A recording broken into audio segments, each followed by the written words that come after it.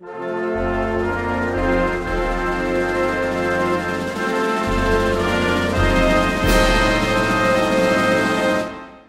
Name ist Anita Ziegerhofer. Ich bin Professorin am Institut für österreichische Rechtsgeschichte und europäische Rechtsentwicklung an der Karl-Franzens-Universität Graz. Für den MOOC werde ich die Geschichte Österreichs innerhalb des europäischen Integrationsprozesses und als Mitglied der Europäischen Union das Österreich seit 01.01.1995 ist, darstellen. Also bekanntermaßen hat es am Ende im März diese sogenannte Elefantenrunde gegeben, wo die Österreicher in großer Zahl angereist sind. Da sind sie schon einmal dadurch aufgefallen, weil alle anderen Kandidatenländer sind mit relativ kleinen Delegationen nach Brüssel gekommen.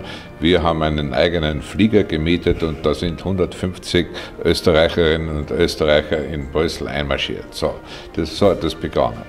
Aber es war dann so weit, dass wir äh, Anfang Juli äh, diesen berühmten Brief äh, nach Brüssel abgeben konnten. Ja, das kann man sich ganz gut so vorstellen, äh, dass wir ein Team waren, äh, welches bestand aus den Verhandlern in Brüssel und sozusagen dem Hausmeister, der in Wien geblieben ist.